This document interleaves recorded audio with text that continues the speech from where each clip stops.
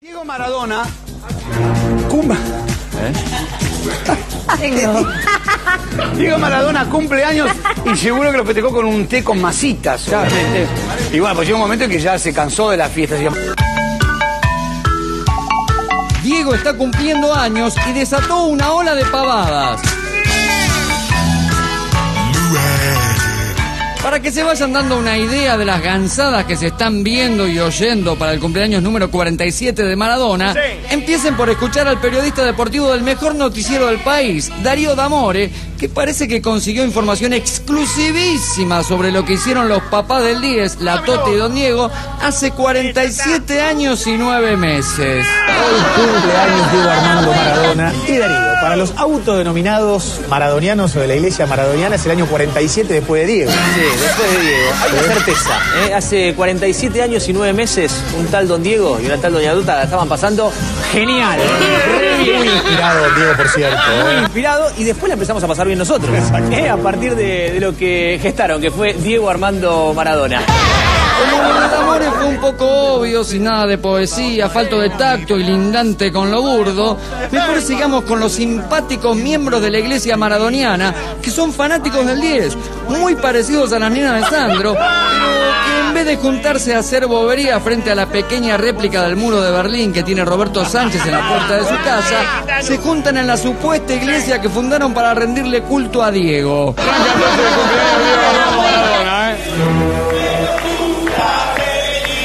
Las 12 de la noche es el cumpleaños del Diego, el año 47 después de Diego. La gente lo celebra así, con este cántico, con este aplauso.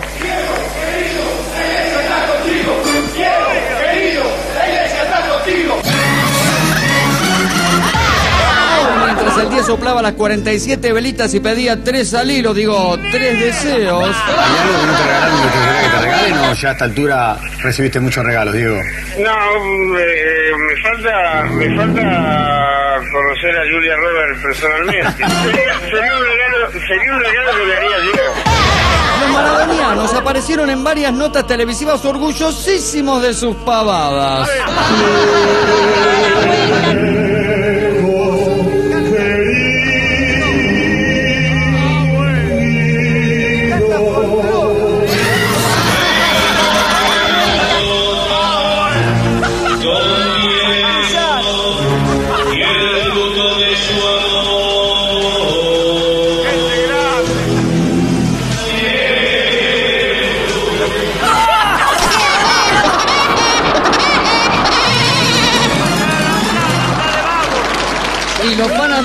Se vanagloriaron de la existencia de dos parejas de mexicanos que se casaron en su inexpugnable templo. A los novios, obviamente, les faltaba un poco de glamour y belleza. Dos parejas mexicanas se casaron en la iglesia maradoniana. Sí, está más loco que nosotros. Blanco en la iglesia y de repente estás ac- acá en Argentina casándote en una iglesia maradoniana.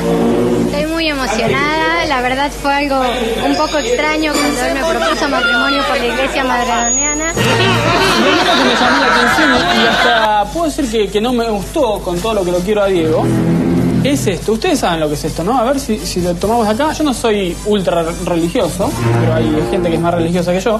Eh, que ayer a Diego le decían todo el tiempo, Dios vení para acá, Dios ahora vamos a hacer esto, Dios anda para allá, es el Dios del deporte, pero decirle Dios vení, Dios Pero anda, Dios va a a temas viejos también, como la iglesia maradoniana, otra aberración terrible.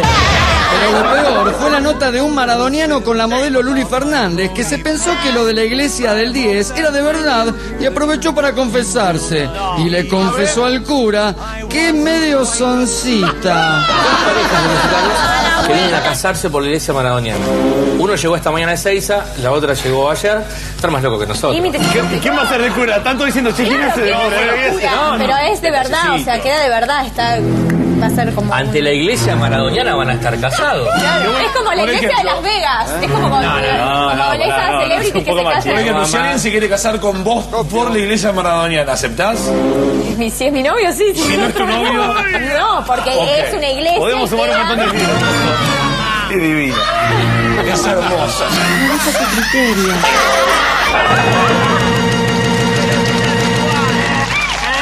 por si todavía no tienen muchas onceras juntas, falta que vean el saludito que le mandó David Cablín a Diego para ponerlo nervioso en su cumple. Quiero mandarle un abrazo grande de todos quienes hacemos nuestro programa. A quien gambeteó en un momento tantos ingleses como veces a la muerte. Señoras y señores, hoy es el cumpleaños del más grande del fútbol de toda la historia, Diego Armando Maradona. De 47 años, está en el país, votó este fin de semana. En definitiva, este tipo a nosotros eh, nos hizo sentir tantas cosas. Cuando le cortaron las piernas a él, nos las cortaron a nosotros. Cada abandono era como dejar el fútbol nuestro también y con cada regreso nos hacía también vibrar eh, y volver al alma al cuerpo. Te confundí. Antes le dije que lo peor era lo de Luli Fernández, pero no peor es lo que le pasó a Quique Feldman durante la nota con la parejita mexicana en el programa de Corol Más Chico. Resulta que estaba la entrevista con los novios al aire y se coló la imagen del periodista deportivo tirándole los perritos a una patinadora del patinando. ¿Son conscientes que el mandamiento número 9 dice llevar Diego como segundo nombre y ponérselo a tu hijo? Sí, estamos conscientes de eso. Van a poner Diego. Che, no entiendo. Si es el cumple de Diego, ¿cómo es que la fiesta la va a tener Quique?